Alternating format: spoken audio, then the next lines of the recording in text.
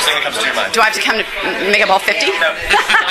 Oh my god. if everybody gets like two, three, four, ninety-five. I love Jose's sexiness and his sexy when he's on the floor and his rumba and his mambo and his cha-cha and his merengue. Sapo, And sapo, he sapo. brings it out of me and I go, oh my god. right, that's what I love. I love his Capezio jazz sneakers.